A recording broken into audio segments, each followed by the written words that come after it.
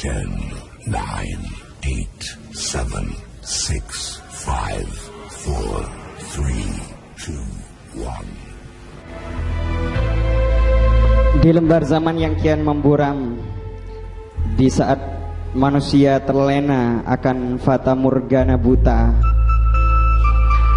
Terlahirlah seorang insan harapan Dengan langkah pelan tapi pasti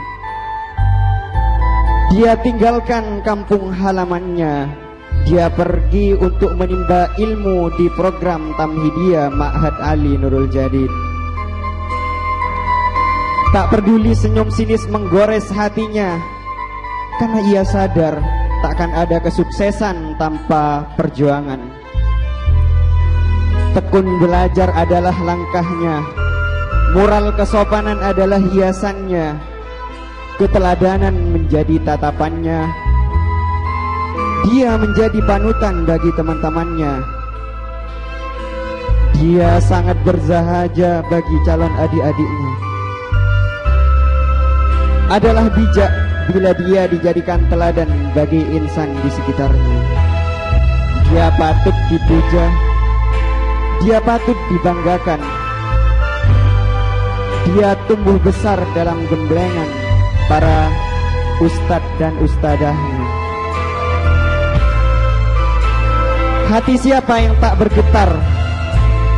Hati siapa yang tak terkesima Bila melihat anak pintar dan berbudi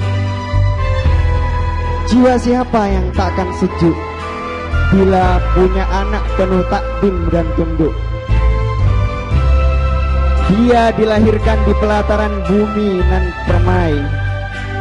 Pada kalender ke-16 dan ke-25 Bulan Juni dan Agustus tahun 1995 dan 1997 Dialah wisudawan wisudawati terbaik yang sedang duduk di singgasana kehormatan. Dia sekarang menjadi tauladan bagi setiap insan Maka salam sejahtera dan berbahagialah buat pasangan suami istri Bapak Haji Ahmadi dan Bapak Mario beserta Ibunda Hajah Khairan Nisa dan Khalifah. Siapakah dia? Dia sopan. Dialah yang kita dambakan. Dia adalah Ahmad Farid Sya'roni dan Aziza Firdausyah.